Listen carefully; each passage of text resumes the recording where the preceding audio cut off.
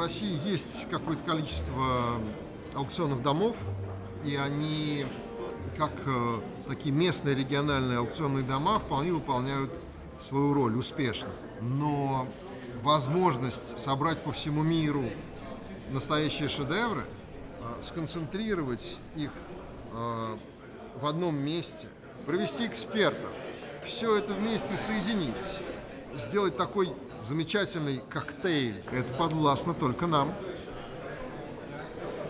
Sotheby's has been engaged in the Russian market for well over 30 years, and certainly since the late 80s when we were the first to have an auction in Moscow. To be here is exceptionally important to show the strength of Sotheby's all over the world.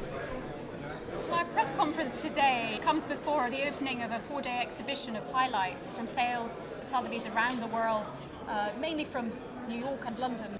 I wasn't surprised to see the amount of press, and I think that the relationship that we have been able to build with the Russian press over these years is of the highest quality.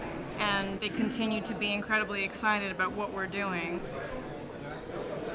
These exhibitions are so important for us. First of all, they give us the opportunity to show the works here to the collectors based in Moscow.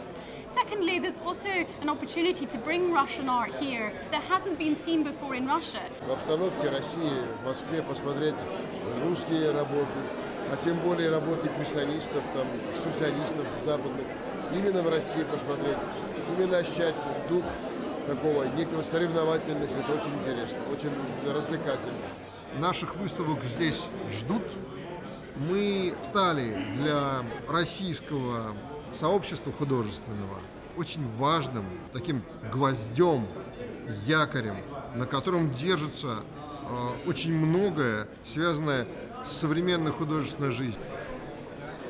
Today in Russia, we see such a lot of interest in all areas of the art market, and we bring the works here so that we can show them to collectors who perhaps don't have the time to travel to New York or London in their busy schedules. Э, И вы приезжаете сюда, и вы знакомитесь с кругом этих людей. Это очень важно.